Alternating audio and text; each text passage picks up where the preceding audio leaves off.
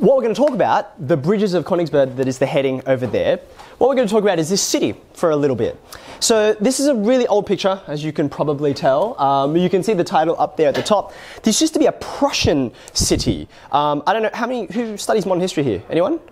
Are they? Is are you guys doing like Bismarck and that kind of thing, or not really? Yeah, it's all different areas. Go on, Azim, grab a seat quickly, please. So Prussia was an ancient area, sort of right in the middle of Europe, really, but it got sort of subsumed by Russia.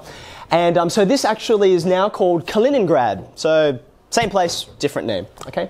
Now this city is really famous, and we're going to study it this period for a few particular reasons that I'll tell you about later. But for now, I just want to actually show you why this city is interesting. Um, what you've got is all of these buildings, and if you squint hard, you'll see there's like waterways through here. Do you see them? Can you make them out? I know it's black and white, it's not that easy. Um, and then these waterways, many of them have bridges over them. Do you see that? Right? Now, I've got, because I thought it was pretty hard to see, I've just redrawn this, right? And what I've highlighted is where the water goes.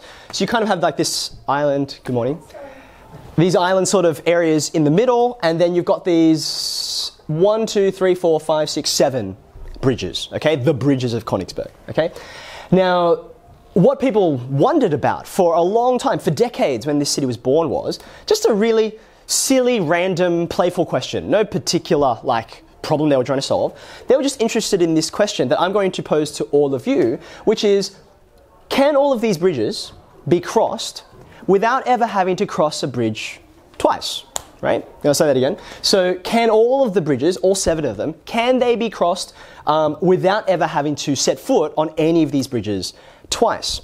Now, we've been in this topic of networks for a little while now, and so you guys know most of this information that's in the map is actually irrelevant, like all of these buildings and stuff. We don't care about those. Those are unimportant, right? Um, even exactly where the bridges are unimportant. So there are lots of like kind of more diagrammatically representative ones. This is not really what the city looks like, but it's got all the same information on it. Do you see? Can you count the bridges?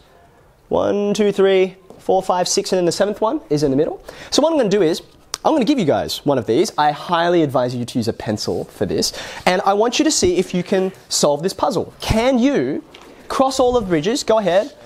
How are you going? Has anyone managed to get all the way through? So this is like, for such a simple diagram, this is deceptively difficult. And now you're starting to realize why people historically were really interested in this because they were like, it doesn't look like it should be that hard. There are only seven places you have to go across. But no one could come up with a solution, right? And everyone wondered, is it just that there's like a complicated solution we just haven't thought of yet? Or maybe, as some of you are maybe starting to think, because I saw how many of you were getting your rubbers out and giving it a go, maybe this can't be done. Maybe it's impossible, okay? Now, what we're going to do is try and unpack what is going on here, and I'm going to do that by connecting it to the topic that we're in right now and explaining like why do we care about this problem okay? So i'm going to give you three reasons and i'd love you if you have the heading already the bridges of königsberg maybe you want to make this as a subheading because i think it's important not just to know how to do stuff you're going to work out how to do this in a minute um, but also know why you're doing it. Like for me that's the main motivator right? So i'm going to give you three reasons um, the first one's a history reason. Um, I asked you before about how many of you study history. So I studied modern history when I was at school. And um, basically, this single problem, this single problem is why we invented networks. Or, in fact, um, as they called it back then, and as it's like called at university, um, we call this graph theory, right? So, this whole topic, in many ways, like the fact that you guys are studying this in the course, the whole reason that networks exist as like a field that we study is because of this problem. This is where it all began. This is like the granddaddy of all the problems you've ever had to encounter in the topic in the course so far, and you will continue to encounter. So, for a historical reason, right? Um, the second reason is once we unpack this, once we work out what this has to do with our topic, we actually gain some further insight into the way these networks function together. As you'll soon discover, this network is actually kind of a special network, and we'll work out why it's special. And um, trying to solve this problem and realizing it's really, really hard is how we gain that insight. Okay. There's one last reason, uh, or one last one that I thought of. Um, there are a ton of practical applications, and that's the way most of the things in this course are. Um, I'll just give you two real quick ones, right?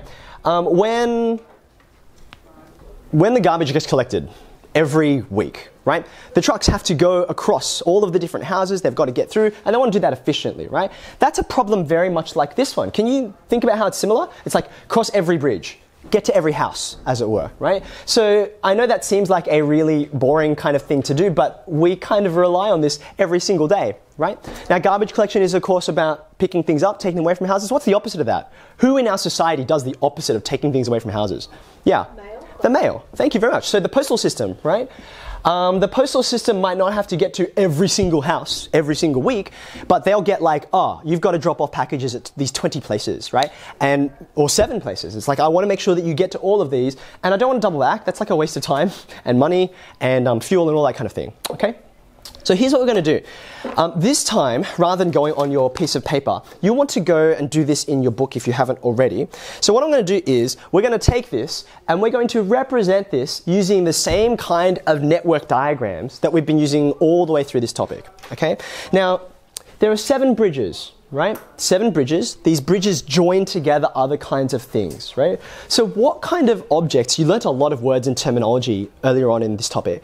What kinds of objects, being that bridges connect other things, what do you think these bridges should be represented as in our diagram? Yeah. These should be edges, right? Between what are the things that are joined by edges? We call them vertices, right? So there are going to be some vertices on here, and the bridges are going to be our edges between them. Okay, so I'm going to just shuffle back here so that I don't get in the way of you guys seeing this, right? So now this is actually a tricky question. I'm going to ask you guys, before I show you the answer, I'm going to ask you, we know that there are seven bridges, so there are going to be seven edges. I want you to think for a minute on your own, how many vertices do you think we can use to draw this diagram, right? Um, we could draw lots and lots. I mean, we could draw like one for every building if we wanted to. Clearly, we want to have fewer rather than more. Can I give you a minute to actually see where might you put vertices? Go and try it on your own piece of paper, and then where would you connect them? Let me give you some time to do that first.